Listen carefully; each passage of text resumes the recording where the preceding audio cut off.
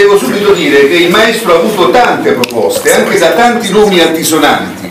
Ottavio Rosati è un bravo regista, ma è un bravissimo psicanalista, un bravissimo psicodrammatista, per cui sono stati registi che fanno solo i registi che avevano già fatto questa proposta. Perché ha scelto Ottavio? Non ho scelto, è stato un incontro, incontro a Piazza Argentina. Cioè l'ha bloccato per strada? Eh, cosa- Ma veramente? C'aveva due pappagalli bianchi sul eh, giorno, eh.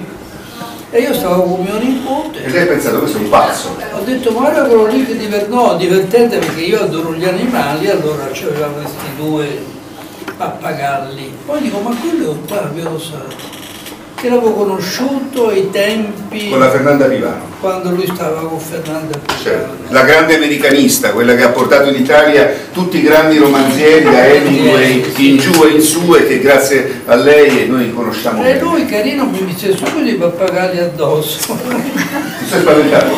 No, io con le bestie, vedo la tigre, ero felice. Ma Felice. pappagallo? Ce l'avevi pure il Poi ce l'avevo pure il Eh, pappagallo.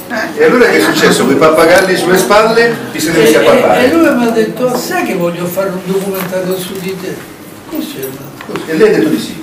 Qua. E tutti i grandi registi di cui non faccio i nomi No, eh, un non- sono che- rimasti dietro. che non dovevano fare altri registi, Eh, certo. nessun film, eh, prima che lui... Ah, produttore esclusiva.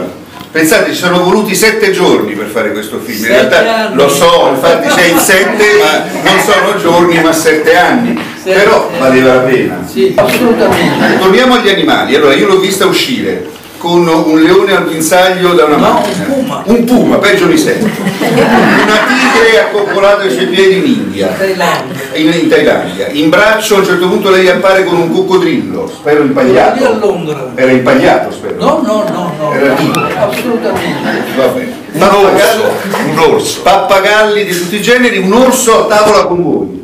Con l'orso. Eh, ma quello c'è. No, quello si andava alle 5 a casa di una signora che aveva preso l'orso piccolino, abbandonato, e gli aveva fatto un impero, un giardino, laghi, cose, eccetera. mangiava a tavola con voi.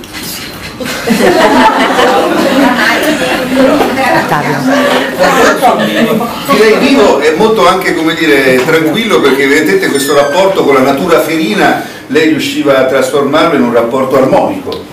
Ma io Mi capite con gli animali? Sai cos'è? Io con la natura, e perciò gli animali, le piante, i fiori, eh, ho un rapporto quasi morboso.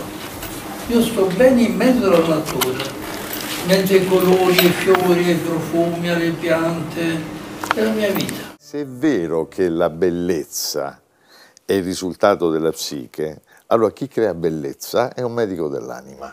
Ma guarda, chi crea bellezza ha un compito meraviglioso. Credi nell'amore? Credo nell'amore, nella bellezza, nella natura. Lì trovo un- qualcosa di spirituale, il vero mistero, il colore che ti danno le piante, le medicine per guarire, i profumi, la bellezza, le forme. La cosa più bella che abbiamo è la natura. Infatti i grandi pittori poi sono ispirati anche alla natura. Lì ritrovo qualche cosa, qualcosa non lo, te lo so dire cosa, però ritrovo una, una serenità e una grande forza.